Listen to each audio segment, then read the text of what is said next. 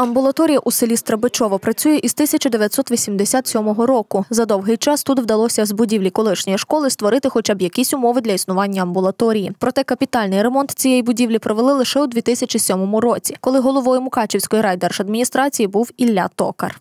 Мені виділили 110 тисяч гривень на капітальний ремонт цієї амбулаторії. Ми повністю поміняли вікна, поміняли двері, поміняли підлогу, стелю зробили ангстронги. Крім того, ну, водопровід, е, ну, повністю повністю відремонтували цю амбулаторію. Проте виділених коштів вистачило лише на половину необхідних робіт. Тоді знову довелося звертатися по допомогу до тодішнього голови РДА. 176 тисяч він нам допоміг через спонсорів.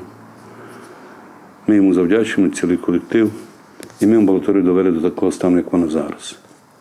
Після 2008 року ремонту ще не було, але вона виглядає зараз непогано. Так само за сприяння тодішнього керівника району Іллі Токаря вдалося відкрити амбулаторію у селі Чомонин. У 2008 році відкрили амбулаторію. До того часу у нас існував ФАБ.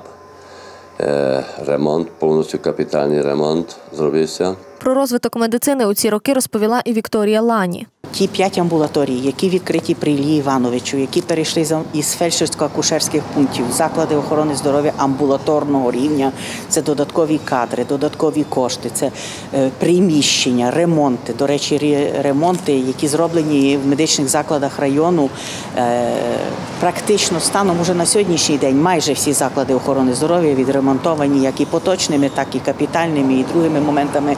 Але той потужний рух надав Ілля Іванович Е, і його бажання покращити умови праці закладів охорони здоров'я і забезпечити Тоді вдалося покращити програму матеріально-технічного забезпечення закладів охорони здоров'я в районі. Ми купляли практично все.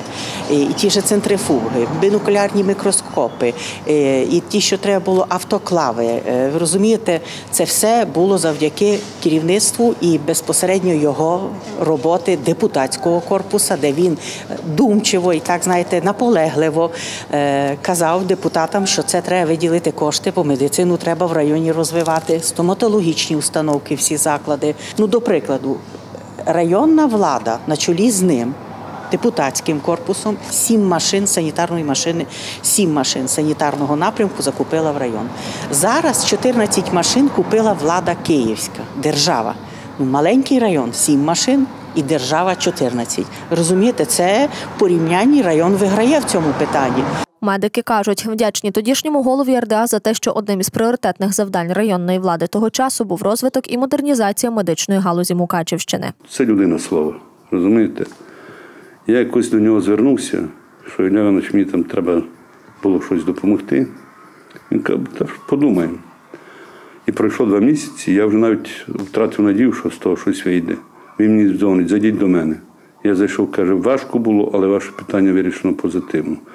Я навіть не чекав цього. Ті надбання, які ми отримали в районі, е, ви знаєте, те, що було зроблено в районі.